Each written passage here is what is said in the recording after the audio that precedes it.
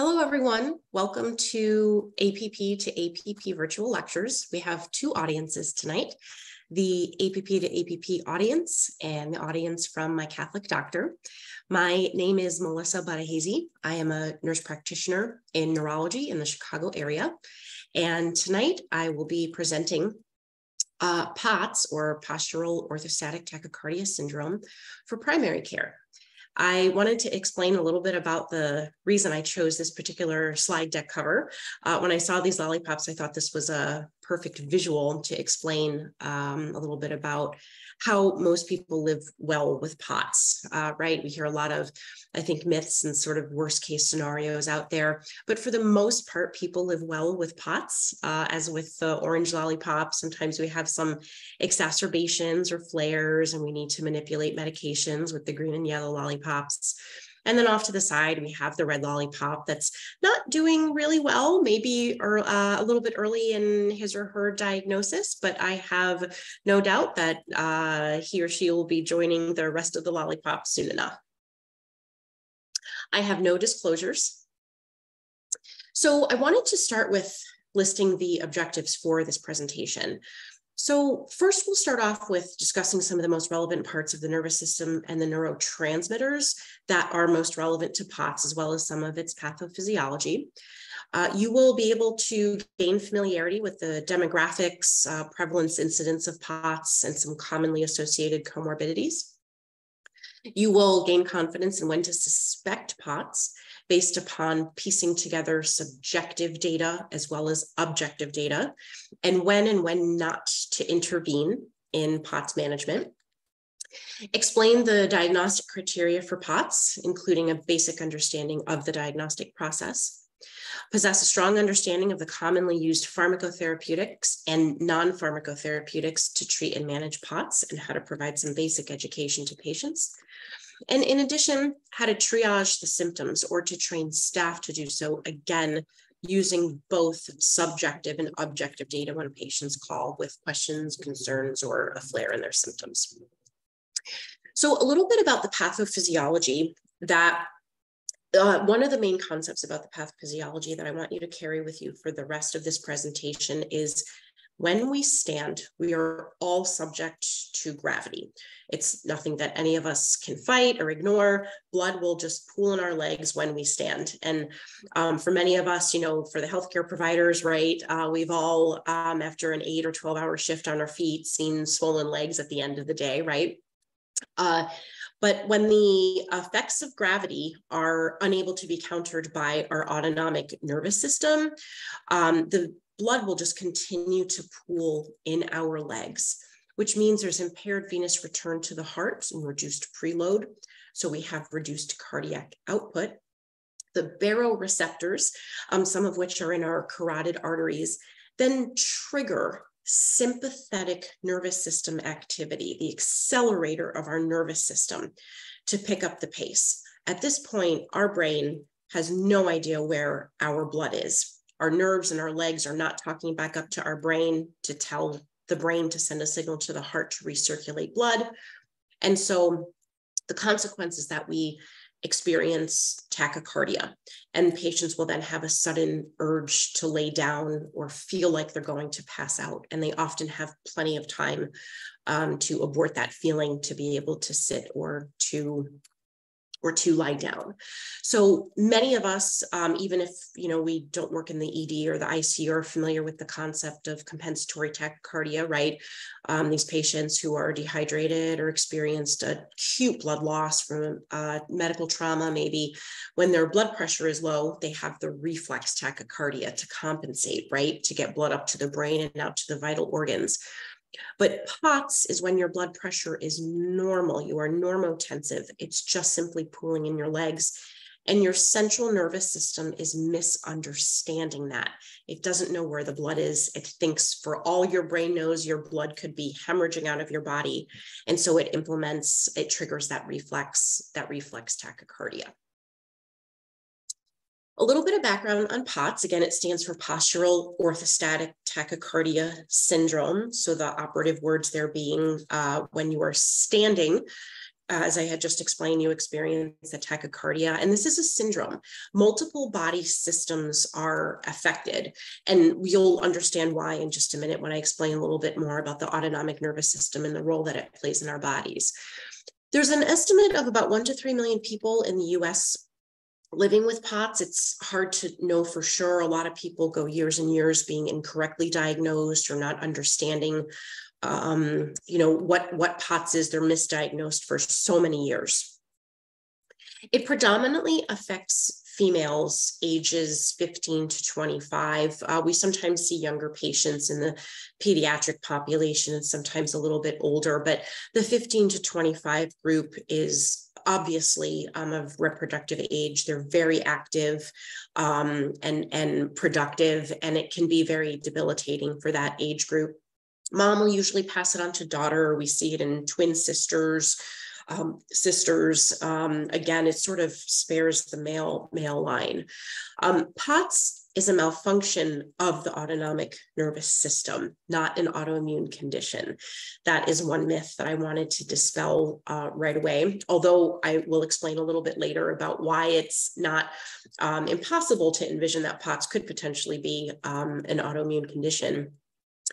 Uh, and, and POTS does not alter life expectancy or predispose one to other illnesses.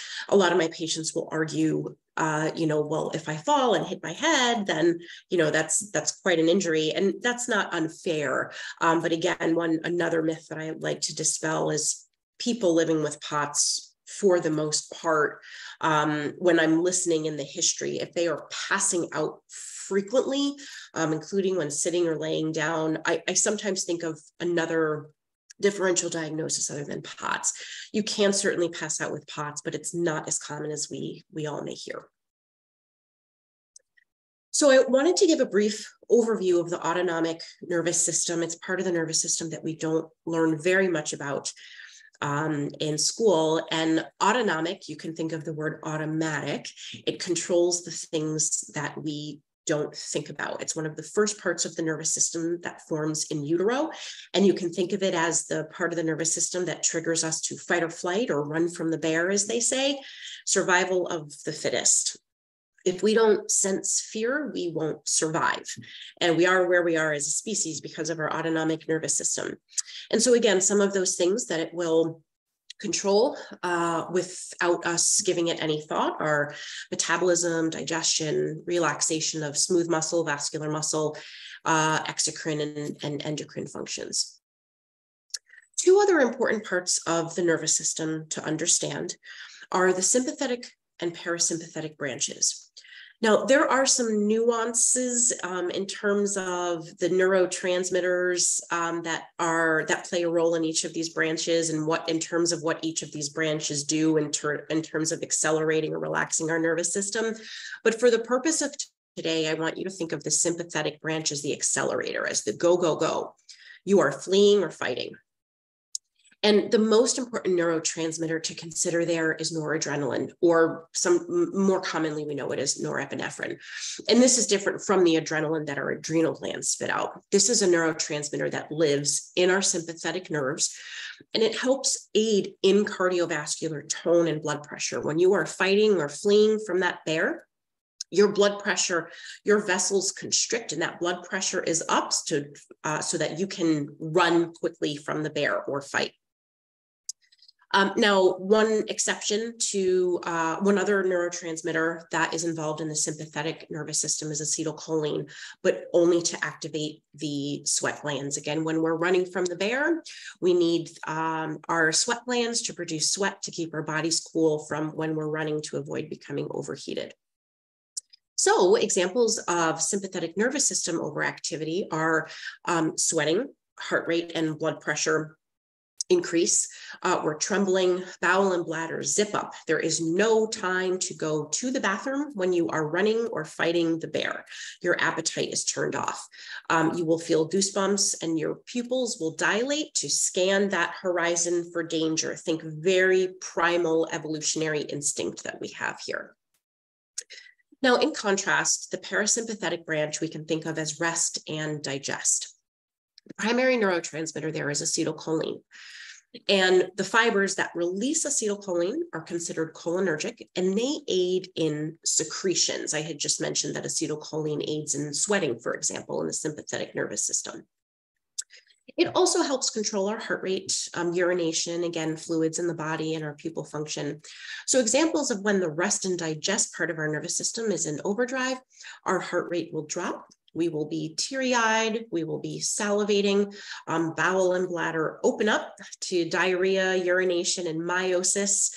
Um, we don't have any need to fight or flee, so our pupils sort of calm down and constrict. There's no more need to scan the horizon for danger we will see later that uh, when we start talking about management of POTS, you'll want to give some thought and some critical thinking to what it means for patients living with POTS when you're thinking about noradrenaline and acetylcholine, for example.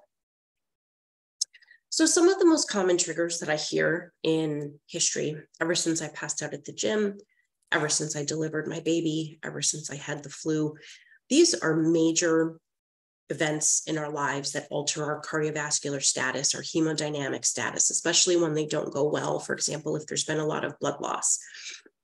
Now, the other thing to consider is uh, acute change in cardiovascular conditioning. I'll often hear patients say, I used to run marathons and then I got married, got a new job, and became pregnant and that marathon running start suddenly started tape, to taper off. Was someone living with POTS and it was staved off because they were so well trained from a cardiovascular standpoint, and now the POTS is bursting through? Uh, that would that would be my main question. But again, it's a common trigger that I hear from patients. Um, infection. So uh, COVID, I'll just use the most recent example.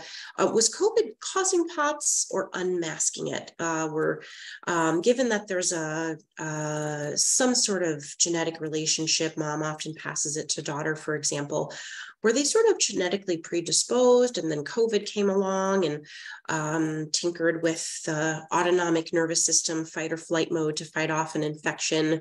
Um, it's not really clear. So as of right now there isn't enough evidence to call pots an autoimmune condition. Uh, there are some antibodies out there to the acetylcholine receptors, to our alpha and beta antibodies or autoantibodies.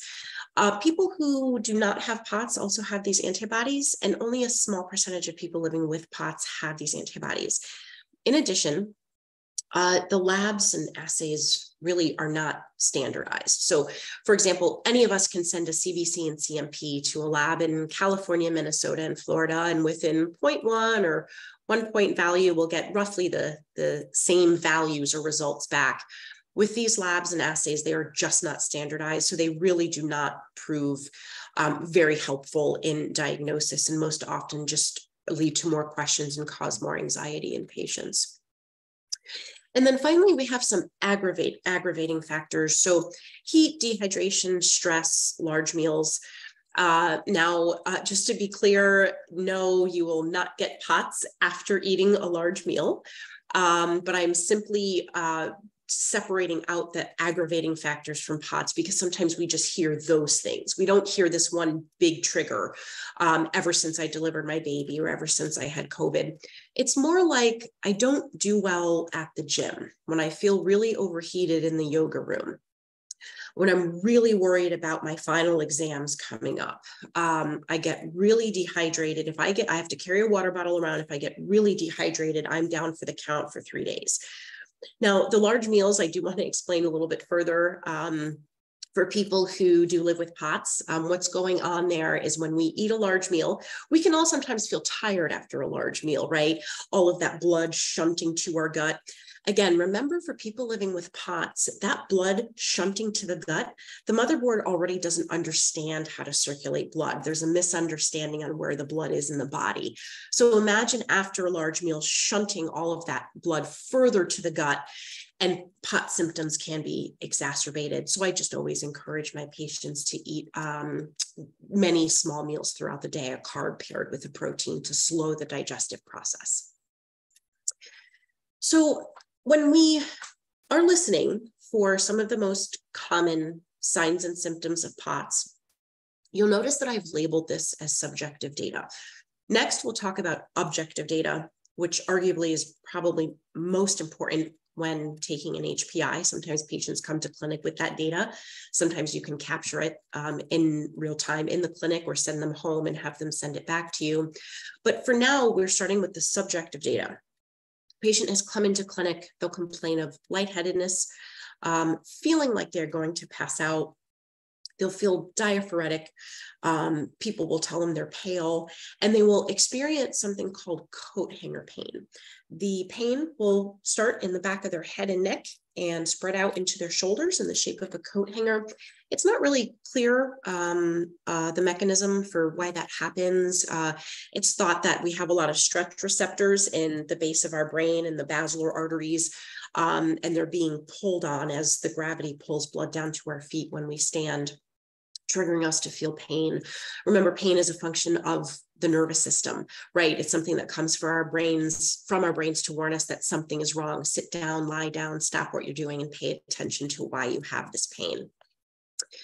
The uh, other symptoms that we usually hear are chest pain, shortness of breath, palpitations. Again, the chest pain mechanism is not really clear. It may just have something to do with uh, the nervous system sending a signal to the heart. It's working in overload with that reflex tachycardia. You need to sit and rest and listen to your body. Your body is really smart. It will tell you when you need to sit and rest when something isn't right. Uh, you'll also experience or, or hear frequently from patients GI dysfunction, usually constipation, early satiety. They will eat one bite of food and feel completely full. Um, bloated, belching, You'll sometimes hear difficulty swallowing, nausea. Remember, when you're in fight or flight mode and your brain has triggered your heart into reflex tachycardia, there is no time to eat or go to the bathroom. Your brain is not sending a signal to those leptin and ghrelin hormones to eat or, you know, to stop eating or, or manipulating your appetite. There is no time. You have to run from that bear. So again, patients also experience urinary retention. Um, they'll experience extremity tingling, venous pooling. Again, the blood is shunting really quickly. Um, they'll have uh, color change in their hands, feet, the dependent, the venous pooling. Um, they'll look purple red. The veins will look engorged distally, and they'll feel pretty panicked and anxious. And a lot of times, um, especially with young women, they are dismissed and placed on anti anxiety medications. It is really hard um, to see a young woman go in and have all of these symptoms wrong, right? Every bodily system is wrong. And I see a lot of patients come into the autonomics practice just misdiagnosed with a um, as anxiety or panic disorder and given a benzodiazepine.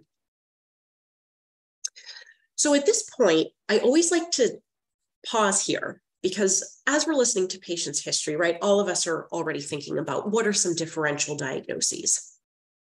And so some of the ones that I, um, especially even with my experience in autonomic neurology, I still think about a lot of non-neurological diagnoses. What else could this be? We constantly ask ourselves as providers.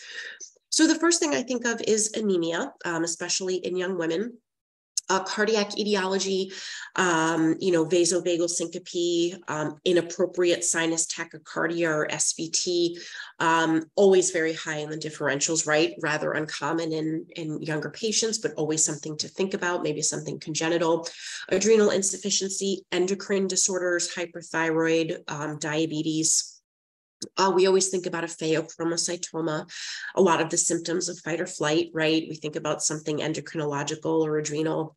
Uh, now, dehydration, hypovolemia, these can just be lifestyle habits that patients have. They don't drink enough. Um, but uh, you know blood pressure runs low um, that often does require further workup though. Why is blood pressure running that low to feel all of these symptoms?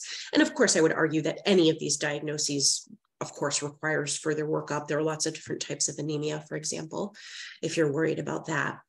And then finally I cannot stress enough medication reconciliation, medication reconciliation, medication reconciliation. Um, patients are taking things um, that they sometimes don't feel that they need to share with providers or feel that they're really benign. Um, and so diuretics, vasodilators, again, not very common in the um, younger population, um, but there are things used off label for different reasons. You know, tricyclic antidepressant stimulants. Um, those are sort of the big four, but you always want to ask patients what they're taking, even vitamin supplements, and think about again are these anticholinergic? Are they um, stimulants? Where are we overproducing an adrenaline, a high adrenaline state? So again, thinking back to that slide of the importance of those neurotransmitters in the autonomic nervous system, is this syndrome a medication, a, an effective a medication this patient's taking? So next, we move on to objective data. Now, orthostatics are going to be the most important piece of data after you gather this subjective data from the patient. And often in clinic, if we saw a new patient for POTS, I would get these orthostatics right there in clinic. If there were some other complicating things, like a patient was taking a certain medication, I would send them home to send me this data later. So two very important pieces of education that you're going to want to consider. If you get this data in clinic uh, from your RN or medical assistant, make sure that that process is consistently capturing that data in clinic, that you have a protocol in clinic, lie, sit, stand, waiting three minutes in between, capturing blood pressure and heart rate.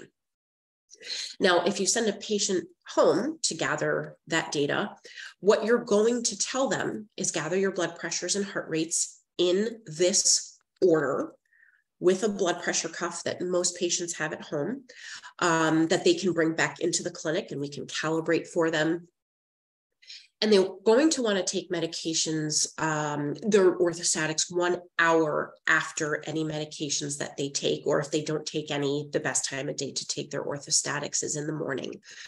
And then please bring this data to clinic with you um, for your next appointment or send it to me on my chart or your electronic medical record, whatever your clinic protocol is for patient communication.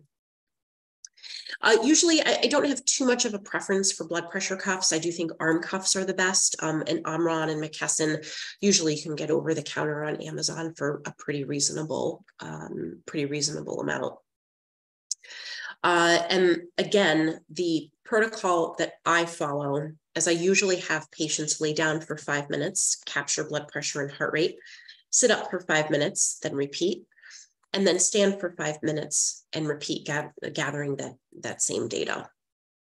A lot of patients will take these out of order. They will stand first because that's when they feel uh, the the most unwell, right? Um, and then they'll take it sitting and then laying down, but it has to be taken in this order. And when we talk a little bit about the diagnostics, um, you'll you'll understand why. And again, POTS is worse when you're standing, right? So we would expect um, uh, your heart rate to be worse or higher when you're standing. So we're looking for that pattern. So at this point, uh, now that we know how to capture diagnostic criteria when you uh, um, the uh, objective uh, objective data, excuse me, from your patients for the orthostatics, you're then going to take a look at the diagnostic criteria for POTS. So the 30 beats or more per minute is the um, amount of increase that you need to see in the heart rate when a patient goes from laying to standing. Um, for younger patients, it's 40 plus beats per minute. And it needs to be sustained over the course of 10 minutes. This next bullet is very important. This tachycardia must be occurring in the setting of normal tension. There is no hypotension to explain that reflex tachycardia the uh, symptoms and their objective data, their orthostatics, is not explained by medication side effects, right? Uh, there is a protocol for the TILT test uh, to hold certain medications if, if applicable, uh, a few hours or a few days before the test if necessary. And then there is also more pre-syncope and less actual syncope. So again, when patients are constantly passing out, we think a little bit more about vasovagal syncope. Uh, and then finally, the symptoms are worse when standing. Uh, they improve when a patient is recumbent. So these are the diagnostic criteria in POTS Um, and again, all of the items that you um, could and should be gathering as part of your subjective and, and objective data. And the final thing that I wanted to say is I get a lot of questions about the different types of POTS, or patients will ask me, what type of POTS do I have?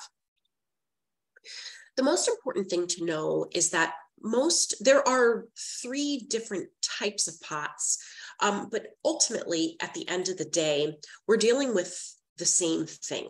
Um, we're dealing with a tachycardia that needs to be controlled using a combination of pharmacotherapeutic and non-pharmacotherapeutic uh, actions. So really, um, and I'll get into that a little bit more when we get into talking about treatment and management. So for the exam, um, again, young women, young men, the exam really is mostly normal, um, but there are a few very common findings. Um, one thing that you'll sometimes find is as soon as you walk in the room, um, you'll see the patient sort of sitting with pretzel legs. Um, I'll have to find a good picture of this, but you're basically uh, have your legs crossed and then that top foot further tucked behind the bottom leg that's placed on the floor. So the legs are really sort of double crossed. Um, and it's sort of a, a, reflex habit that people don't even really know that they're doing so that when they go to sit, the blood stays shunted upwards when they sit.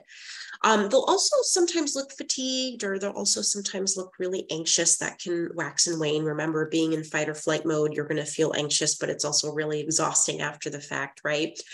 So uh, the other things that I'll see are the pupils are usually really dilated if they're sort of in this anxious mode and pop up out of the chair and, you know, can't wait to find out what their diagnosis is and share their story and their journey.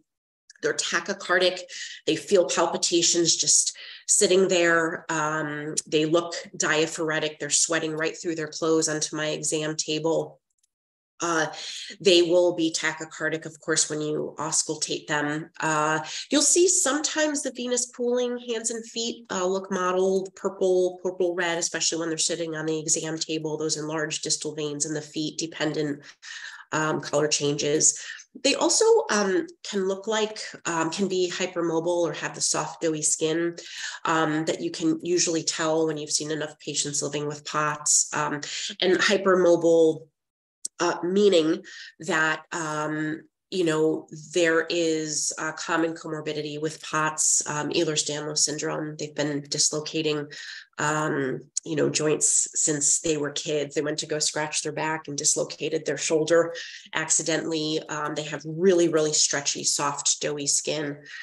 Um, it doesn't change anything about what I'm going to do or not do with the POTS, but it's just another piece of the puzzle, right? As um, clinicians, we have to use all of the puzzle pieces that we can when we're coming up to make as strong of a case as we can and as thorough a case as we can to make a diagnosis. And so seeing that um, EDS type presentation um, would be supportive of POTS. Um, again, the pallor um, mottling soft doughy skin um, in EDS, as I had just explained, in the piezogenic papules um, that I've circled there also can be, can be common as well. So as a quick summary at this point, um, for providers who are not specialized in neurology or autonomic neurology, during an HPI, again, you're going to hear patients throwing every system is wrong at you, right? And that can be really overwhelming as providers. But the things that you're really listening for, a few items in the subjective data, those common triggers, right? A big major hemodynamic cardiovascular event in their lives, um, multiple system complaints. They've seen multiple specialists without a clear etiology, or maybe they do have something else wrong, right? People can have more than one thing. Um, but I often find, for example, when patients have been diagnosed with um, SVT or um, with IBS, it might actually truly be the POTS talking. Uh, and then, of course, we're using the objective data as well, right? So they've either brought to clinic or you have sent them home or in clinic have gathered that orthostatic data, that objective data. Did their heart rate climb 30 beats or 40 beats or more per minute if they were ages 12 to 19 in the setting of being normotensive? And they felt better when they laid down.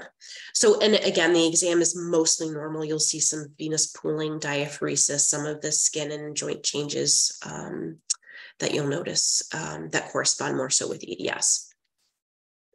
So, some of the diagnostics. Uh, now, as clinicians, we all know that a good history and exam can tell us a lot, right? And luckily in autonomics, we do have some really thorough testing to help us with the diagnostic process. And then sometimes we also use a response to therapy as well to see how patients are doing, right? To work backwards um, using a medication as a diagnostic. So some of the most important ones in autonomics are the tilt table, Valsalva, sweat test, and pupillometry. Some of the other diagnostics that we use less commonly are ambulatory blood pressure cuff. Uh, brain imaging, I really get very rarely. It's if I suspect uh, something else um, in a young woman who has maybe put on a lot of weight. Um, that's a, a, red flag for me to think about. Um, it has vision changes uh, and headache. It's a red flag for me to think about idiopathic intracranial hypertension. Um, you know, uh, swallowing, nausea. Um, I think of Chiari um, if it's out of proportion to what I see in POTS, but it's it's really honestly very rare um, that I have to get brain imaging. And usually these patients have had it done already because autonomic neurology um, has been their their 10th stop. They've already had been imaged somewhere along the way. Some of the other non-neurological diagnostics that I think of um, result from the HPI, right? So I'm listening in HPI, and when I'm thinking of my differentials, there may be other things that I want to rule out if they haven't already been done. Again, a lot of patients, I need to make sure there's not something else going on, right? But again, a lot of patients have already been to endo for example, they've had cortisol levels, thyroid, um, but I will draw those urine, sodium, blood sugar. If they are abnormal, I will refer to endo, primary care um, for further management, of course. Um, and then I, of course, do a quick Beighton score during the visit as well, um, which is uh, sort of part of the exam, um, but something to think of. This is the very, very quick version. Um, their thumb for EDS will bend all the way back to their wrist. I am not hypermobile, so I cannot do it. Uh, the pinky will bend back to 90 degrees. Again, I'm unable to do that. The elbows are hyperreflexic, um, the uh, hyperextend, excuse me, the knees uh, similarly, the spine, they can bend over and touch the floor without bending their knees, palms flat on the floor, and their skin is very, very stretchy, soft, doughy skin. There's pictures out there of people pulling their facial skin in all sorts of directions, um, and they've dislocated uh, um, very frequently from an early age. And so, um, obviously, as I had just said, if these patients have not already seen these other specialties, and especially if there's an abnormality in, in one of these, I will, of course, refer the patient out in, in that regard. And then I will proceed with, um, if they're formally diagnosed with POTS, of course, with managing the POTS. So, the most important thing that autonomics uses to diagnose POTS is the tilt test. And I really love this pictorial because um, we start out, first of all, in the supine position. And then uh, we strap the person in um, so that they're safe when we tilt them up. And they're connected to usually a few blood pressure cuffs with a lot of equipment that is measuring several things their heart rate, their blood pressure, their systemic vascular resistance, and their cardiac output. We then tilt them up for about 10 minutes. Remember that diagnostic criteria tells us that they have to have sustained tachycardia of 30 to 30 beats per minute um, or more for sustained over a 10 minute period.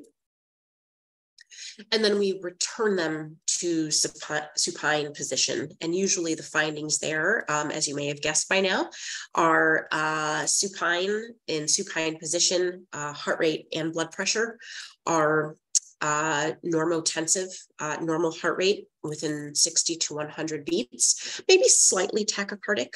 Uh, sometimes patients are a little nervous uh, taking the test. Uh, and then when we stand them up or tilt them up, they, uh, of course, we see the blood pressure remains stable, maybe a quick change that returns to normal tension after one to three minutes. And then we have, um, we see the tachycardia. Now, the sweat test is also another important piece of the workup. Usually there is a strap attached to the lower extremity, for example, um, with uh, using a test called the QSART um, to evaluate the sudomotor or the sweat function. It stimulates the sweat glands. Um, it's a rather uncomfortable part of the test, uh, an unpleasant sensation to stimulate those sweat glands. And then the amount of sweat or humidity that is put out um, is measured by a hygrometer and translated against the normative data for how much uh, sweat should be produced. That usually is done because it's a rather unpleasant sensation while the patient is laying down on the table and completed before we tilt them up. Now, the value in looking at this sweat test is we're looking for something called a small fiber neuropathy. Remember, when we stand, the motherboard, the nervous system, is looking for where all of our blood is. And we have these big nerve boulevard and pathways going right down to the tips of our fingers and toes. Those nerves in our toes and legs, for some reason, are not sending the signal back up to the brain hey, it's time to recirculate blood. We've been standing for a long time now. And so the question becomes why aren't the nerves doing that? What's happening down in the feet and legs? Is there a small fiber neuropathy? It's relatively uncommon in the younger generation, but some causes of a small fiber neuropathy, one of the most common ones that we can think of is diabetes, for example, that stocking glove pattern um, causing the pins and needles and tingling. And the nerves just are not sensing, um, not taking in sensory input in the way that they should be to talk back up to the brain to recirculate blood. The other test that we do is something called pupillometry. It looks like a camera that's placed over the eyeball. It measures pupillary diameter, the rate at which it constricts in response to a flashing camera light, and the rate at which it redilates when that camera source is removed. And this, of course, is testing the sympathetic and parasympathetic function. Remember in the first slide on patho and the autonomic nervous system, the sympathetic nervous system, the accelerator, the go, go, go, is telling you to dilate that pupil, to scan that horizon for danger. And then when you are out of danger, your pupil constricts again, right? Um, so we think a, a little bit about um, so, so, this pupillometry test tells us a little bit about how quickly the sympathetic and parasympathetic nervous systems are, are reacting and behaving.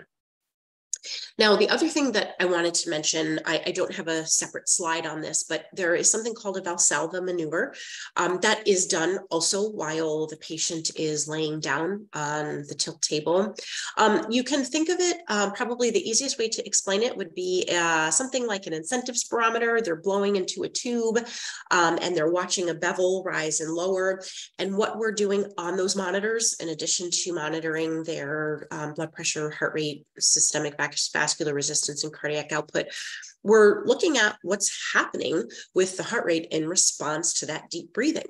So again, when we're taking a deep breath in, we're altering that intrathoracic pressure and the heart rate should go up, right? So we're looking for ways, um, we're looking at many, many ways using non-invasive methods um, the pinprick um, sensation from the sweat test is just uh, mildly unpleasant, but not invasive. Um, we're using a lot of non-invasive methods to tell us a lot of information of how the sympathetic and parasympathetic nervous systems are responding or not responding.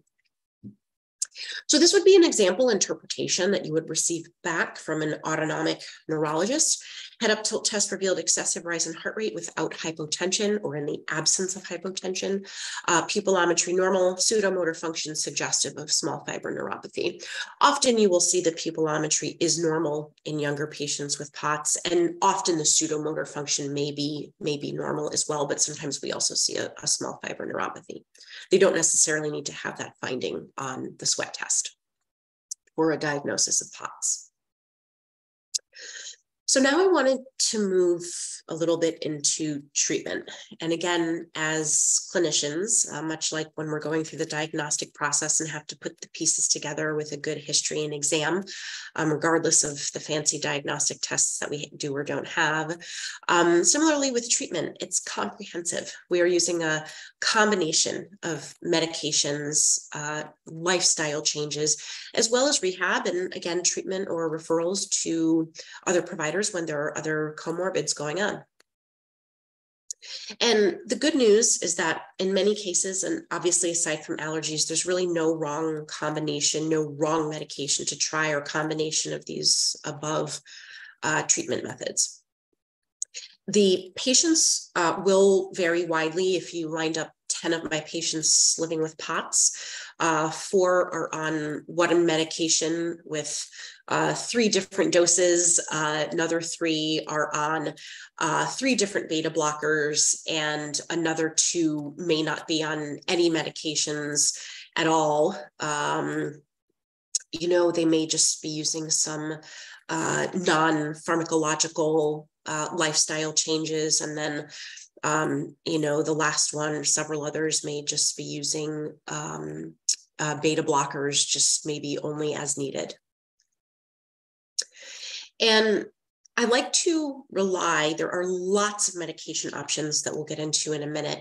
I like to rely on the thought process that we all use, which is relying on a little bit of critical thinking, uh, looking at the allergies, past trial and error, patient preferences. Uh, for example, if you know you're thinking about a medication that's three times a day with a short half-life and the patient's not really interested in that guess what? The patient's not going to take that medication right? Uh, and then looking at sometimes it really is just trial and error. Um, often i have to try two beta blockers um, or a beta blocker in another category of medication. Um, it's very rare to have to go down the line to try three or or four things. So the first pharmacotherapeutic that we're going to cover is ivabradine, and then we'll talk a little bit about beta blockers. Uh, we'll talk a little bit about some other categories, volume expanders uh, with a question mark there, which you will see why when we get to that slide. And there are a few other stragglers that are used sometimes um, or, or, very rarely only when there are um, severe allergies or contraindications to the medications most commonly used for POTS. So ivabradine um, blocks the hyperpolarization activated cyclic nucleotide gated channel in the pacemaker of the heart or the SA node. And I really love this medication because it's very heart selective as the mechanism of action tells you. So it's very well tolerated. Um, it's not going to a lot of different parts of the body or operating systemically to cause a lot of side effects, and it can help chest pain. And again, the mechanism of chest pain is not really well understood, other than being in fight or flight mode, your nervous system sending a signal uh, with pain to sit down or slow down, listen to what's going on in your body, right? Um, but the interesting thing about the HCN medications or category is that there are actually four different types of HCN, HCN 1, 2, 3, and 4, and they're found throughout all different parts of our body, including in the peripheral nervous system. So given that POTS is a dysfunction of the autonomic nervous system, again, it would seem right that your nervous system is smart enough to send signals of pain, um, to sit down, slow down. And we may even actually be seeing uh, HCN medications used for chronic pain management, which is obviously beyond the scope of this lecture, but I, I just thought that was an interesting fact about the HCN category. Some of the side effects that I look for or evaluate uh, before I initiate the medication is QT prolongation, especially if patients are on other QT prolonging agents. Um, if they're taking, uh, sometimes there's congenital uh, QT prolongation as well if they're on antidepressants or other things. Um, and obviously, when we're slowing heart rate, we look out for the opposite effect, right? Just wanting to avoid becoming bradycardic. This is why we start slow and uh, start low and go slow with medications that we implement, right? Um, so again, to avoid uh, exacerbating or causing QT prolongation, I just get an EKG before initiating ivabradine. Now, um, again, the patient may have likely already seen cardiology and probably has a fresh EKG.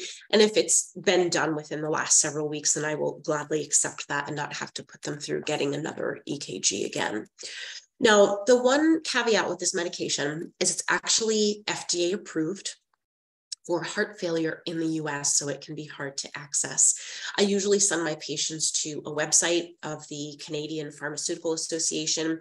This can be also additionally challenging because most practices, uh, because of our licenses and scope of practice, cannot send prescriptions to Canada. Um, but usually, but we can of course hand it to a patient um, you know either through the medical record or uh, back in the old like back in the olden days of paper prescription um, that they can send to their pharmacy in canada it's usually very affordable. They can get three to six months at a time. Um, but that is one thing to consider with Ivabradine.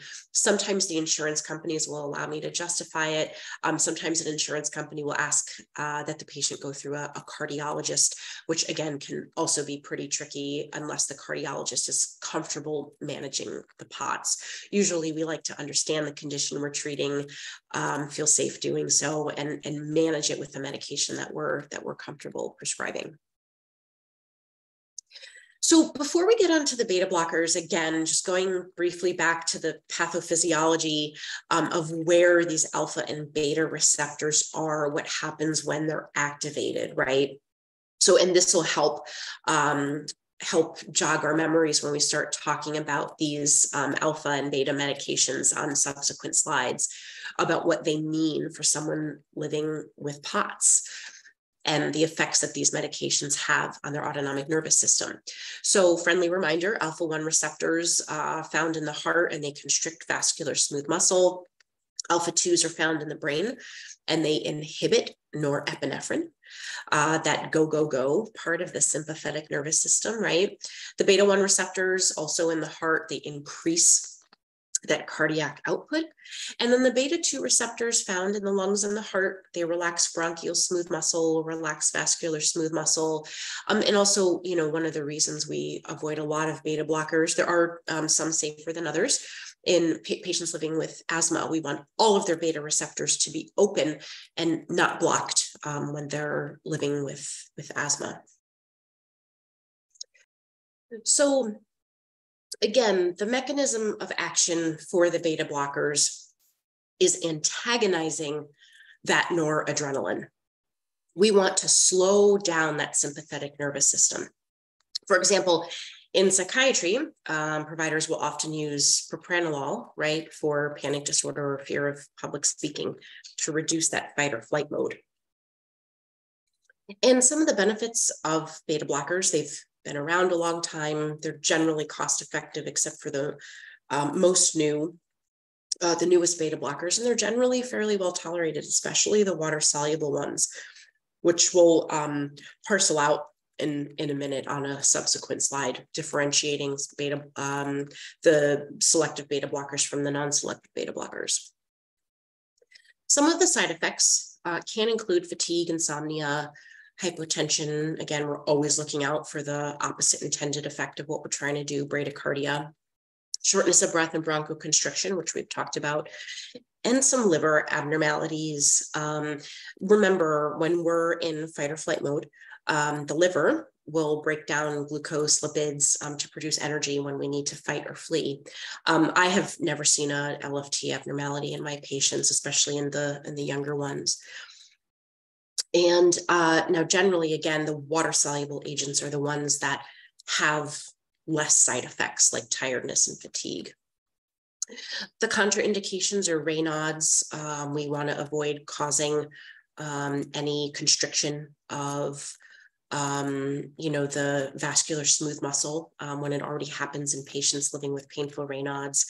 Um, dementia, uh, this, this, is a uh, the jury's sort of out on this. Um, do beta blockers contribute to a you know dementia process? I think there's a lot of other larger variables that um, we need to um, think about that are implicated in, in causes of dementia, um, masking diabetes, and of course asthma.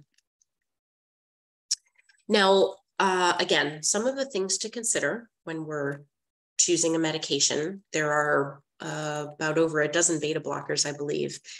And I choose one uh, based upon what the patient's current blood pressures are, their allergies, side effect profile, the comorbids. Um, and I always try to use the two birds, one stone. So, for example, propranolol is a medication that can be helpful for migraine. It can maybe also serve a patient in POTS, but it's typically administered three times a day um, and can drop blood pressure. So if blood pressure is already low to normotensive, I would um, worry about bottoming out the patient um, from a blood pressure standpoint. So I would maybe want to think about a more um, selective beta blocker. So, so this slide, I wanted to give you an understanding of a little bit more of that treatment process, how I would select a medication uh, based upon the blood pressures, the comorbids that the patient is already living with.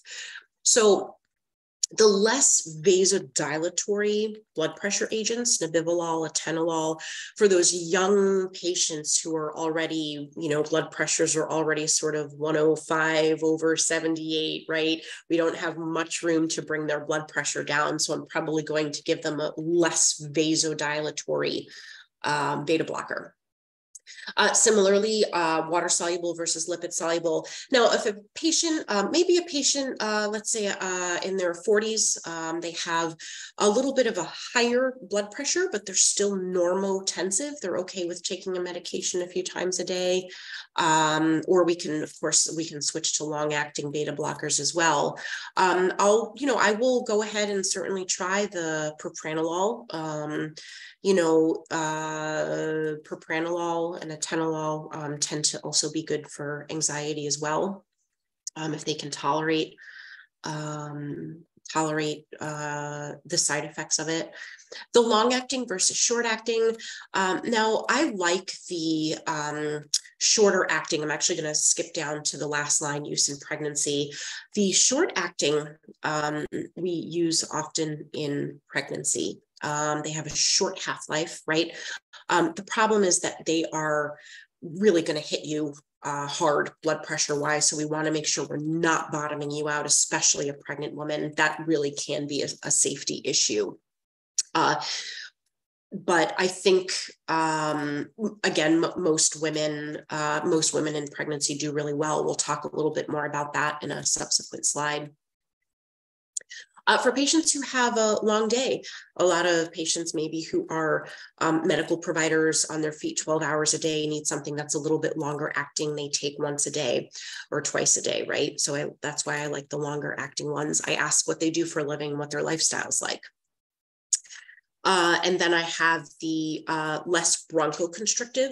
So usually for patients living with asthma, I have many patients living with asthma who are on beta blockers, but these more um, uh, selective ones, the less bronchoconstrictive ones, nebivolol, bisoprolol, atenolol.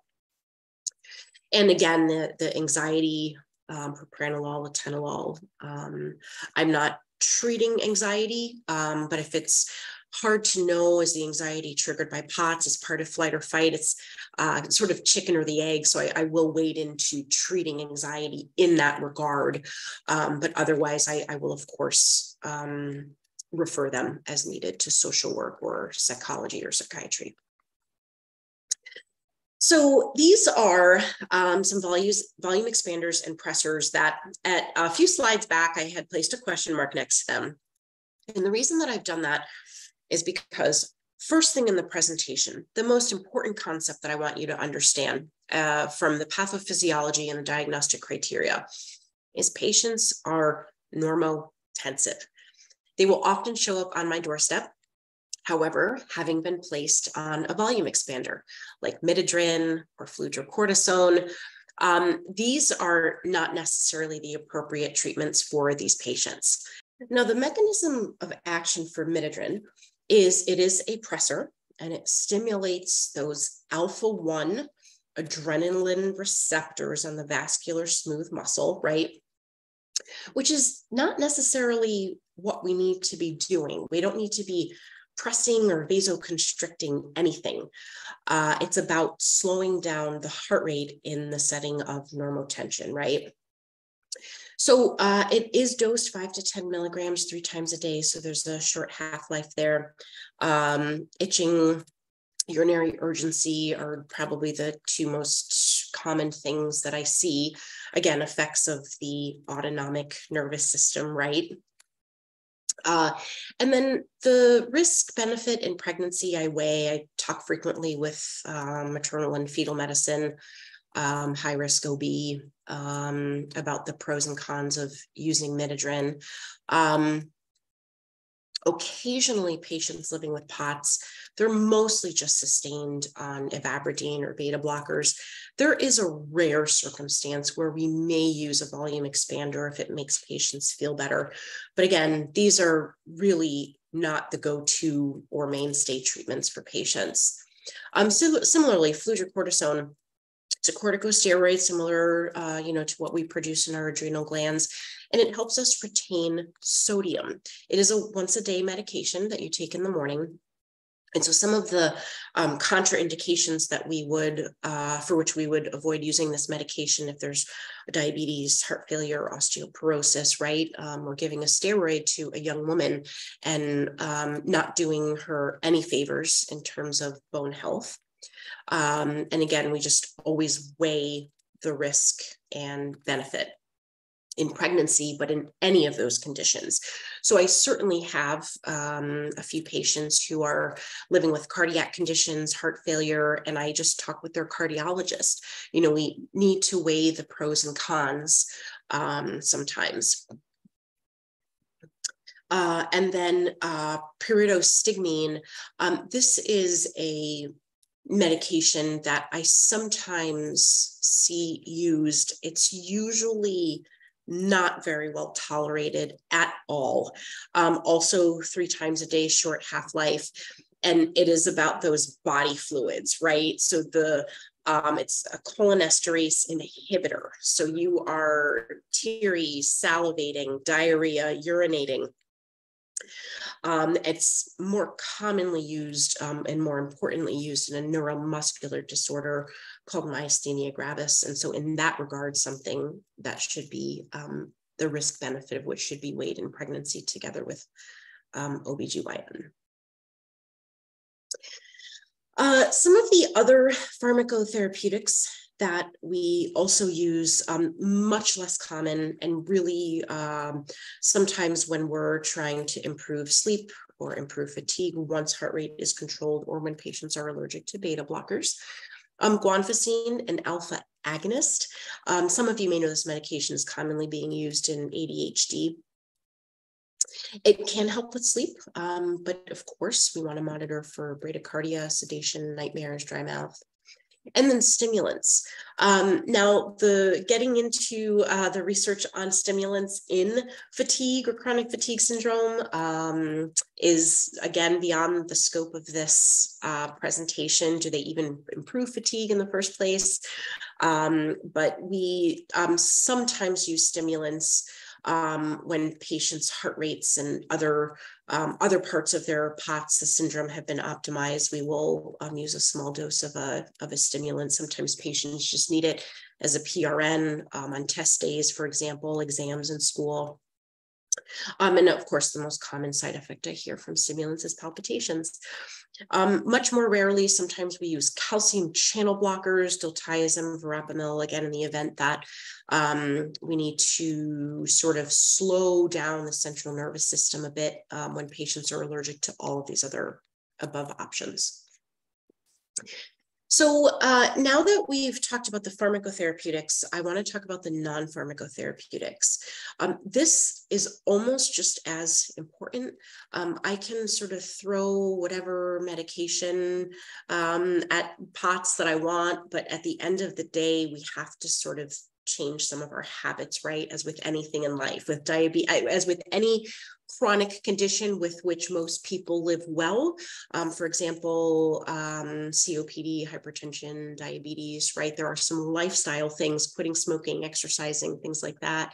Um, so in POTS, uh, some of those lifestyle changes that we would implement are avoiding the triggers. So remember, I had explained the aggravating factors that you're listening for in HPI exercise plus hot shower plus a big meal. This is the trifecta that I always explain to patients to not avoid, but just parcel out or slow down.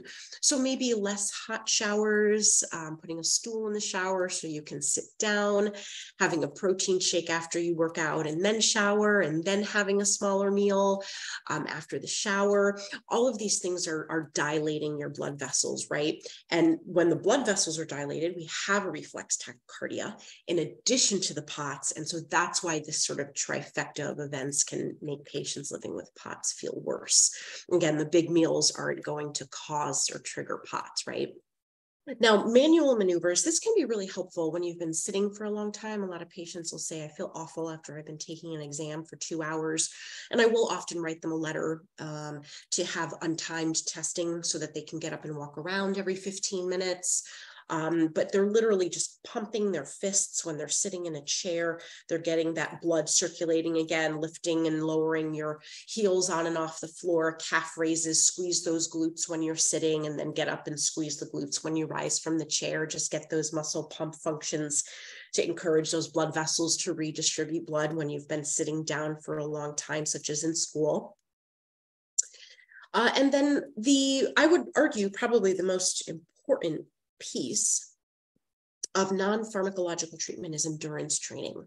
Now, um, Benjamin Levine is the guru in um, autonomic sciences for um, uh, POTS protocol, for the Levine protocol and POTS endurance training.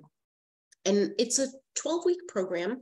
Um, most patients after 12 weeks report feeling much better from POTS. So I always manage those expectations, a 12 week time frame of endurance training, either on their own, if they are athletic and feel comfortable doing this, or in the setting of PT. For patients who have never worked out, um, who are deconditioned, sedentary, I will often go the extra mile and set them up with cardiac rehab. And what cardiac rehab does is it offers a safety, a safe environment, a supportive environment with a pat on the back and goal setting, and you're monitored. So you can set goals. If you're athletic and you're achieving those 30 minutes of moderate intensity um, exercise most days of the week, like the American Heart Association recommends, um, you've come down with POTS, let's say after COVID, and you're trying to retrain, right? You are not going to go back to jogging 30 minutes on the street right away. You have to start small. The tortoise wins the race, as they say. So you may want to go to PT and goal set. Start with what your heart rate and blood pressure are before you get on that treadmill, and then try 10 minutes of fast paced walking. See how you feel, reevaluate. They'll get your heart rate and blood pressure, right? Again, safe, supportive, goal setting environment. So the again, the American Heart Association guidelines are 30 minutes of moderate intensity exercise most days of the week.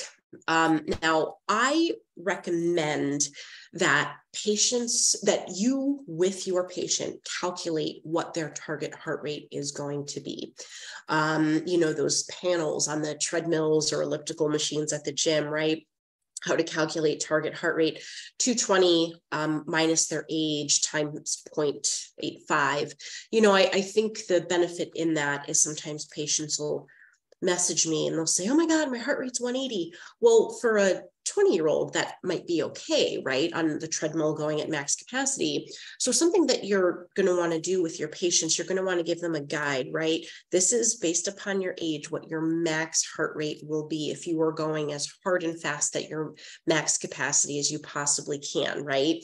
So, and but also remember, they're going to be on a beta blocker.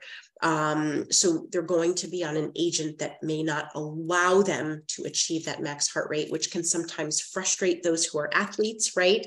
Um, so again, it's just about managing expectations for patients 12 weeks let's calculate your target heart rate remember you're on this therapy that's going to keep you a little bit lower baseline heart rate so just manage expectations with your patients I wanted to focus on uh, this special population. you know, it's uh, women's neurology is really a burgeoning area, and I can't, in good conscience, talk about a diagnosis that predominantly affects women without focusing on pregnancy. Um, again, overall, really good news. Most women do really well in pregnancy. Uh, and they have, uh, you know, from that volume expansion, that expansion in blood volume for um, to sustain a fetus.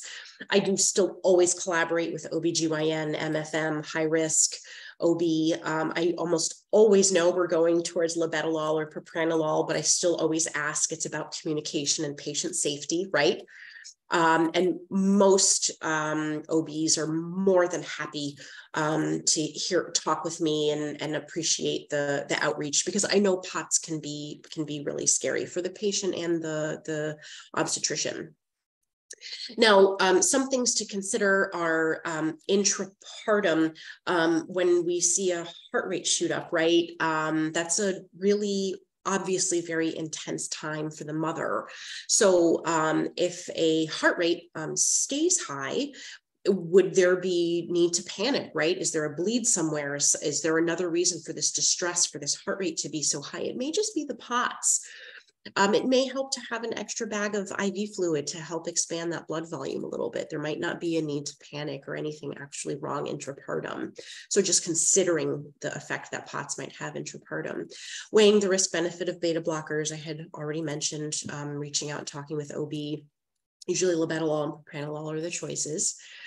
Um, and there is no evidence or very limited evidence to consider um, C-section versus vaginal delivery, epidurals or not, um, or any other types of anesthesia or anesthesia for any um, type of surgical, other surgical procedure um, for that matter that, that um, a male or female may be undergoing when living with POTS.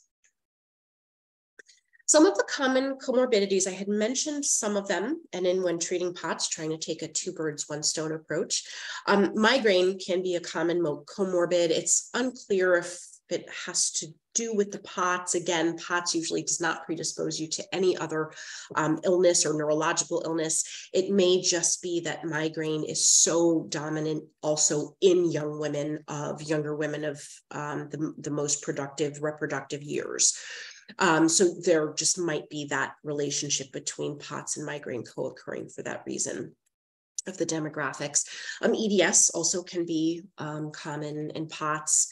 Um, and again, doesn't change what I'm doing. Um, I may want to um, more strongly encourage a patient um, rehabilitate themselves from a POTS standpoint with PT because they can also get the benefit of being in a safer environment, telling the PT, hey, I also have Ehlers-Danlos, can we work on strengthening my hip girdle, knees, um, knee joints, et cetera? So there may be a benefit um, in that regard to encourage patients to rehab with PT for endurance training, but otherwise my management does not change.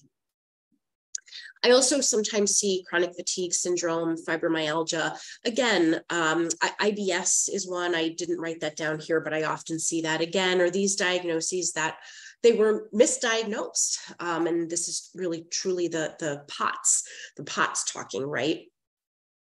So I have, um, I encourage you um, in if you're in primary to talk to neuro. If you're in cardiology talk to neuro in primary um, right? Um, talk to these other providers when you make referrals. Let them know what you're doing. Um, pots again there's a, there are a lot of myths out there and what we hear um, are usually horror stories. Um, and patients are, are very afraid. They've been diagnosed, uh, misdiagnosed, dismissed for a very long time. They're afraid of their symptoms until we get them under control. And so, if you work in neuro, um, I always try to do my due diligence and at least fax my progress note over. Hey, this is what what's going on and, and what we're doing about it, so that we're all on the same page. Um, but also to please avoid changing um, medications um, when you know uh, without speaking to the prescriber, right? I, I try to avoid stopping or starting a medication that I know will affect a comorbid in a way that I'm not treating. And so I want to reach out to that provider and understand a little bit more and explain what I'm trying to do and treat without causing another comorbidity to flare for that patient. So uh, I devoted a slide um, specifically for the psychiatric component of POTS, anxiety and depression uh, very prevalent in patients living with POTS. I've already mentioned um, these are patients who have been misdiagnosed and misdiagnosed and dismissed and dismissed. And so uh, sometimes, you know, are they just truly living with a disorder? If maybe I've gotten the POTS under control, are they truly living with uh, depression or anxiety, which we know commonly co occur in people living with any sort of chronic illness? Um, do I need to refer them to our neurology social worker, um, to uh, some other talk therapist to help them regain control of those fight or flight modes, the anxiety and depression roller coastering, right? And I provide a lot of reassurance to patients, um, especially when they call to triage. Um, my patients uh, were not living in wheelchairs. That is a myth that is floating around online, um, encouraging others to ask their providers for durable medical equipment for wheelchairs. Disability is extremely rare and uncommon. I sometimes have patients coming me to in a wheelchair to me in a wheelchair. Um, they have arrived at that stage. Um, we are usually able, once we get testing and treatment underway and a rehabilitative approach with PT, um, they are able to leave the wheelchair um, behind as a thing of the past. So treating objective findings, I cannot stress enough. While these are patients who have been misdiagnosed and dismissed and certainly afraid of their heart rates just going up a flight of stairs, right, and passing out or injuring themselves, it's extremely important that you as a provider provide that reassurance to them and ask what are your orthostatics? Sometimes they will say, I don't know. Sometimes they'll say, I'm just looking at my Apple Watch. You have to look at those orthostatics at least 50% of the time or more. I once I see the orthostatics from the patient, I'm able to provide reassurance and hindsight. Hindsight is 2020, as they say, right? So their heart rate on tilt test may have gone from 70 to 110 and jumped to full 40 beats. And if they send me their orthostatics, they may not still be feeling well, but let's say their heart rate is jumping from 70 to 92. So jumping 22 points is a lot better than 40 points. So we just need to titrate medication or try another one depending on the context. So using that objective data, I cannot stress enough.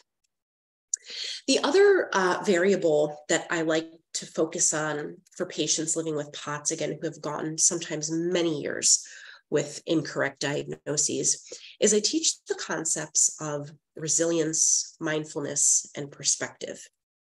Now, we uh, there are a couple of PhD researchers out there, uh, Jamieson, McGonigal, who have who are doing a lot of work on the ideas of embracing stress, and benefit finding. There is a book by McGonigal called The Upside of Stress that really is a game changer. Finding the upside of whatever stressor we face, stress never goes away. So finding the upside of it or the benefit of it actually takes work. This goes back to the autonomic nervous system, right? So the autonomic nervous system forms very early in utero, survival of the fittest. We need to be able to sense fear in order to survive. So in POTS, we have to unlearn this sense of fight or flight. Not everything is fight or flight or survival of the fittest. So we have to, and, and that's inborn in us. And so we have to work hard to really unlearn that. And spiraling up or spiraling into the positive takes takes work, right? So I uh, always try to focus on problem solving and promoting resilience um, in my patients. And of course, we all know the data and research on mindfulness. And what other more perfect diagnosis than a, a, a dysfunction of the autonomic nervous system to incorporate mindfulness into your day. One very simple activity for mindfulness that I love is focusing on the present with all of your senses. So when we live with chronic illness, uh, we know we see commonly in our patients the what if scenarios. What do I do when? What what if this happens? What what what happens when I go to on vacation? What if? What if? And there's a lot of future thinking. And so I try to tell my patients to focus on the present. And this can be literally 60 seconds a day um, where they sit uh, maybe uh, with their breakfast and they focus on the present and focus on all of their senses. What do they see? They see the flowers outside of the window. They see the bright orange color of their orange juice. They, what are they smelling? They can smell their cinnamon raisin toast and their coffee. Um, what are they hearing? Uh, they are hearing the rain outside um, or the news on TV. And uh, what are they feeling? They are feeling the soft bathrobe or shirt that they're wearing. Um, and it's okay if something's negative too. I am feeling some pain in my pain in my arm that I bumped yesterday. That's okay. Just focus on the present and when you are becoming anxious or scared about something to stop and slow down. Why am i feeling this way? What truly is the root cause?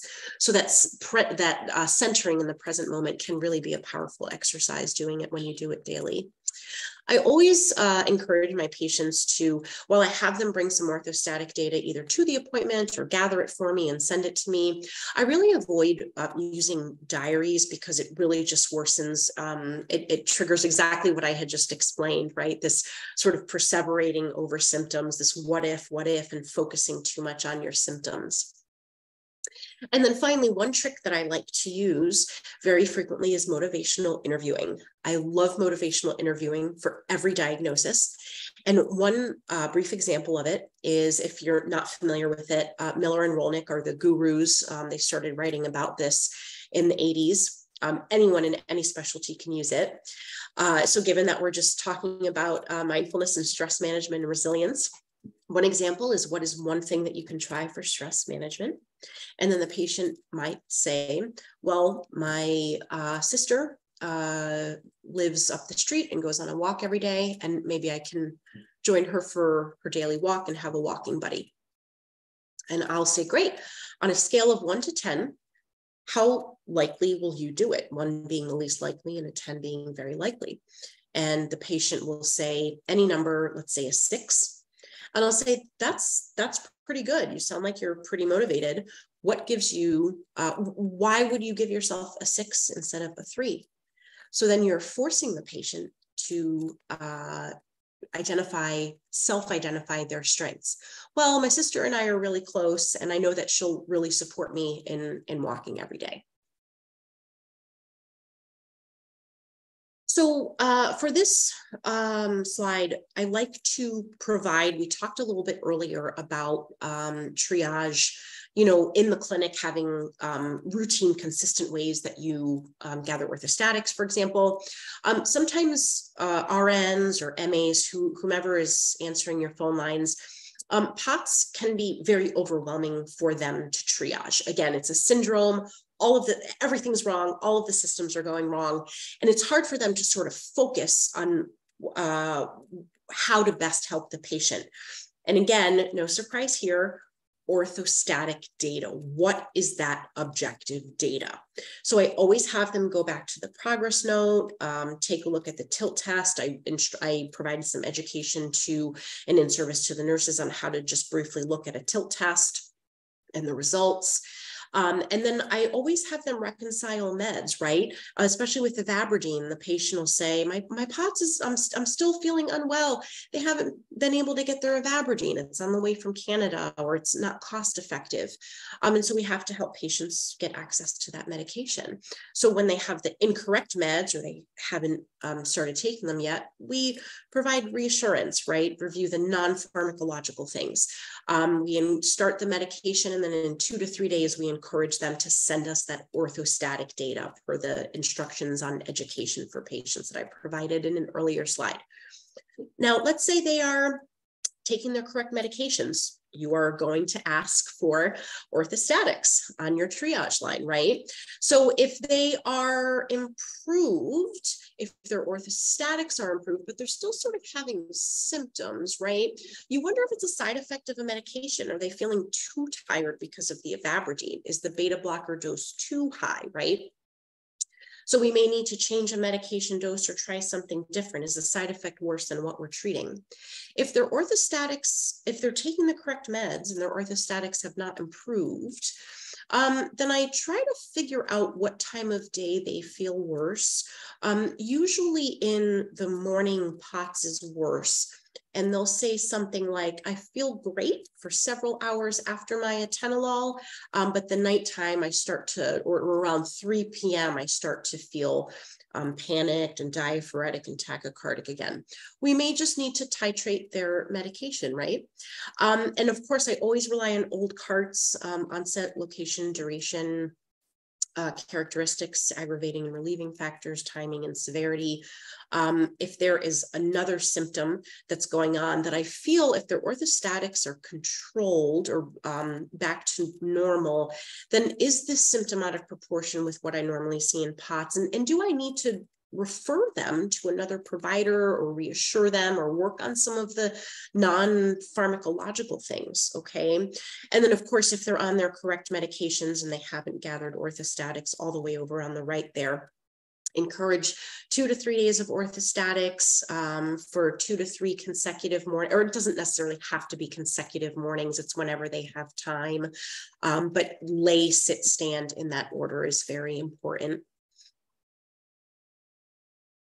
So, uh, one thing that I always like to bring up when we are triaging is I have a brief story uh, when I went out on vacation and left my in basket in the charge of a colleague. I came back after vacation and she said, Oh my gosh, Melissa, I sent three of your patients to the emergency room. They all had chest pain. I thought they all had PEs. And I found that really interesting because in my practice prior to autonomic neurology, I worked in general neurology, and I thought very frequently about these the ABCs, right? Airway, breathing, circulation. When patients call with chest pain, shortness of breath, swallowing difficulty, these are 911s, right? And then all of a sudden, I switched into autonomic neurology and patients calling with chest pain, shortness of breath, swallowing difficulty, right? We talked about the history. These are things that we hear frequently in POTS, and they really do not raise a red flag as they had for me um, in the past. Now, having said that, um, just because people living with POTS are typically aged 15 to 25, and we don't automatically think of a myocardial infarction or or something extreme like that, or a PE to send them to the emergency room, you should still, of course, always triage them per your clinic protocol. You know, is there swelling in your lower leg, right? Uh, is one calf bigger than the other? Um, so, uh, you know, are, are you, um, having difficulty swallowing is it related to you know itching and swelling in your tongue and mouth? Did you eat something new or take a new medication right? These of course should still be evaluated but please know that chest pain shortness of breath and swallowing difficulty there's a little bit of that esophageal dysmotility in POTS when we're in fight or flight right? There's no time to eat when you're running from the bear. So these are common things that you hear in POTS.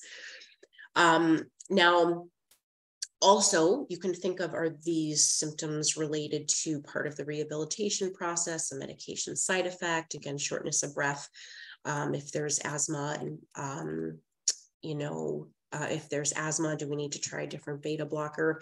Um, but always really at the end of the day, if they haven't already seen cardiology, I will do a stress test, treadmill test, um, GI consult for EGD. Um, if, if I really do, if my nurse gut is telling me that this patient needs further workup. So in summary, uh, I have a, um, you know, I, I hope that I was able to clarify for you when to suspect POTS. Um, the patient will have multi-system complaints, again, that may or may not have come up with an etiology, but often they've seen multiple specialists with no clear etiology for GI upset, nausea, um, urinary um, retention or urgency, um, light sensitivity of big pupils in fight or flight, right? Light sensitivity. Uh, they're worse when standing. And of course, the objective data that their heart rate climbs 30 plus points when standing or 40 plus points if they're age 12 to 19. And once they're correctly diagnosed and treated, most patients really do live well with POTS and get back to the training that um, they they were their baseline cardiovascular status running five miles a week or spinning three days a week or if they were sedentary they've had to create a rehabilitation program for themselves to feel better. Relying on objective data before altering the treatment plan is one of the most important takeaways from this presentation. Again, these are patients who truly have a syndromic presentation where everything is wrong. But at the end of the day, for you, you have to rely on the orthostatics to guide you in terms of what to do or not do with medications, where to refer where not to refer those patients. There are various combinations of medications plus rehab and lifestyle changes that work, except when I made a liar out of myself about avoiding compression when the tilt test showed blood pressure was running a bit high. But otherwise, you really cannot go wrong. So I want you to feel comforted in that um, you, you really cannot make a wrong decision here. Um, you know, the wait time in neurology is about 12 weeks. Um, the area that I'm from, um, it can take about a year to see an autonomic specialist. And so sometimes in primary care, um, you're it. So I, I, want you to know, um, I want you to have that confidence in knowing that you can pick a, a beta blocker that you might feel comfortable using frequently and that that might be the answer for that patient. And then finally, reassure, manage expectations, coach on stress and resilience, and using motivational interviewing when patients call. So finally, I like to always cover a little bit about what the latest literature or research is in this area. It is um, constantly innovating, and there is really so much movement in autonomic neurology right now.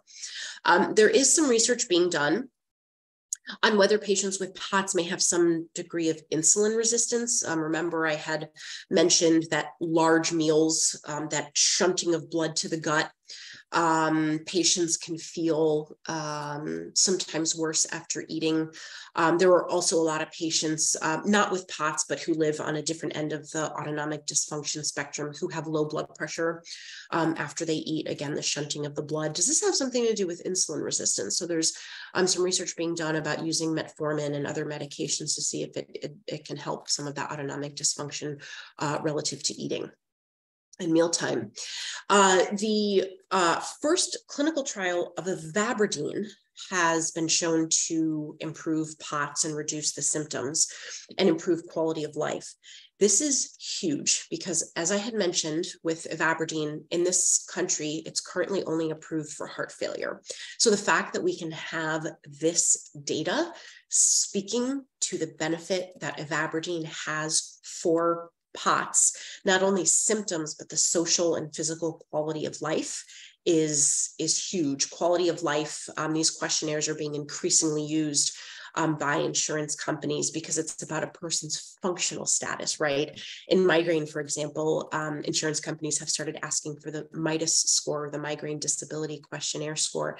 It's about um, how well a person is able to, to function in life. And then finally, there's some interesting work being done on uh, the role that the renin angiotensin system plays in POTS, um, namely as it relates to COVID, um, but even um, you know thinking about the role that the renin angiotensin system plays in um, regulating blood volume and vascular resistance, right? Constricting um, angiotensin, ACE, the, the role of constricting and dilating blood vessels. Um, does a virus like COVID upset that balance of the renin angiotensin system, that very fine-tuned system? and trigger um, the sympathetic nervous system to just run overactive. So those are some of the things that are on the horizon for POTS and hopefully some additional um, pharmacotherapeutic um, avenues for, for patients to be able to, to take. So I liked to end with a case study. Um, and I thought that this is a, a, very common, it's a mix of a couple of different patients um, that I've seen, um, but very common presentation. A 25 year old who delivered her first baby six, six months ago by C section is experiencing lightheadedness after prolonged standing. Sitting down, having a salty snack help. Otherwise, she will go on to experience further symptoms of nausea, sweating, palpitations, and panic. Co-workers have told her she's pale, her hands and feet appear purple red. She recalls having passed out twice in her teens in the setting of exertion in gym class. Since uh, postpartum, uh, delivering her baby, she's noticed more constipation and GI upset. Uh, symptoms worsened after she had the flu three weeks ago. Blood pressure readings at home are normotensive. Her Apple Watch is showing pulses in the 110s when she feels her worst. She denies loss of consciousness, unintentional weight change, polydipsia, weakness, twitching, mood swings. Prior workup includes CBC, CMP, uh, notable for BUN 22, hemoglobin 12.1, otherwise unremarkable B12 and TSH are within normal. Uh, sleep is poor. She does have a six month at home. Uh, high stress, poor hydration, uh, good appetite, uh, balanced, but eating less meat recently. Um, prior to pregnancy, she was a long distance runner and practiced yoga and hiked regularly. And she works in retail.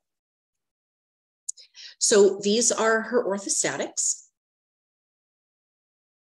Normotensive blood pressures. And we are seeing that her heart rate shoots up by 33 beats from supine to standing. So some of the signs and symptoms of POTS here, and some of those symptoms that would lead us to think about differential diagnoses. So we'll go back to this case study. So some of the signs and symptoms, right? We're already hearing, first of all, a little bit about this trigger that's setting off a flag for us right? Hmm. she had a c-section maybe ask her a little bit about how that went. Um, but we do know pregnancy already creates a lot of hemodynamic status changes. Um, she was a long distance runner. Um, she had stopped um, while she was pregnant. So she also had an acute change in her cardiovascular status. Um, her lightheadedness um, and these symptoms are worse when standing. Sitting down or having a salty snack help and she's also um, worsened since getting the flu, uh, an acute infection, another trigger to worsen her symptoms, right? From her history here, we don't have enough information on her um, blood pressures and heart rates, but we see that um, she, for the most part, appears to be normotensive and does have a higher heart rate. So our next question is, what is that orthostatic data, um, which she recently had brought with her, luckily uh, recently captured and brought with her to clinic. Um, now, some of these questions, the loss of consciousness, change in weight, um, these are things that I'm asking. Uh, we all have our sort of list of additional symptoms that we want to ask. I want to make sure this isn't vasovagal syncope. This isn't um, something endocrinological, adrenal failure, um, something to, to that extent. Thyroid, we see muscle twitching quite a bit um, in thyroid disorders. And then in her prior workup, um, we see the BUN, um, mild dehydration, hemoglobin normal, a hair low. Um, you know, she uh, was ill recently, had a C-section, eating less meat, um, but her B12 and TSH are normal. So overall, I would say um, pretty reassuring basic, basic blood work. Um, sleep is poor, high stress, poor hydration, all things that are going to send your autonomic nervous system into panic mode or fight or flight, right? Um, eating well, um, and she obviously was very well conditioned from a cardiovascular status before pregnancy. Um, and she works in retail. So, hint, hint, she is on her feet for probably a long duration. Um, and so it's really going to be it's it's reached a point for her where it's untenable for her to continue in her job and her bosses maybe had a discussion with her about missing work or needing frequent breaks to sit down so that she can feel better so her job might be on the line here Now, again, we see those orthostatics that have increased by uh, 30 plus beats from supine to standing. And she just brought those from home. That wasn't even yet the tilt te test yet. Um, but, uh, you know, at this point, uh, no shock that we're looking at uh, POTS diagnosis here. And the treatment plan that we would create with her um, would look something like wanting to pick a medication that would be less vasodilatory, uh, would carry, uh, because she's already living in the 110s, 120s, we don't really need to bottom her out anymore. Uh, we are also looking for something that is not necessarily going to sedate her um, or cause any more fatigue. She has a young baby at home. She's probably up at all hours. Um, we don't want her necessarily sleeping through the night um, or, or, missing a crying baby or a safety event, even though we do want to promote her sleep, of course. Um, and, you know, she wants to get back to long distance running. She's an athlete. And so she really is going to work hard to get that heart rate back up um, to, you know, to her max capacity. So for her, I chose ivabradine. Um, it's sort of the cleanest medication. She's not taking any other medications. Um, so that would be contributing to prolonged QT. Um, I did get an EKG and she had a normal QT interval. And so we initiated ivabradine uh, five milligrams twice a day. Um, and she really um, responded well to that, was able to get back to training on her own. Again, as an athlete, she felt comfortable training on her own, how to capture her target heart rate, et cetera, um, how to calculate her, her maximum target heart rate. And then for some of the non-pharmacological interventions, we really just worked on water intake. Um, I always tell my patients to get those water bottles that have the um, hourly marker indicated on them, drinking this much by 9 a.m., this much by 10 a.m., this much by 11 a.m. And that was really effective for her in promoting. She also had set her Apple Watch to promote um, water breaks. So hydrating better um, to, again, to expand that volume, even though her volume itself isn't the problem in POTS, right? And we saw her good blood pressures, but just feeling better with drinking more water. Um, and she wore compression hose at work, which was really, really helpful for her. I also did write her a letter um, asking her um, management if instead of uh, two 15 minute breaks and a lunch break, could she have um, several 10 minute breaks throughout the day, um, which was very, um, which to which they were very agreeable, luckily. But once she started training, um, once she got her endurance back up, it was really sort of a, a non-issue for her at work. So she felt more secure with, with her job as well. These are my references, and I wanted to thank you today for spending this time with me and learning all about postural orthostatic tachycardia syndrome. I have faith in you that you will manage your patients very well, and I have faith that they will do very well. Thank you for your time.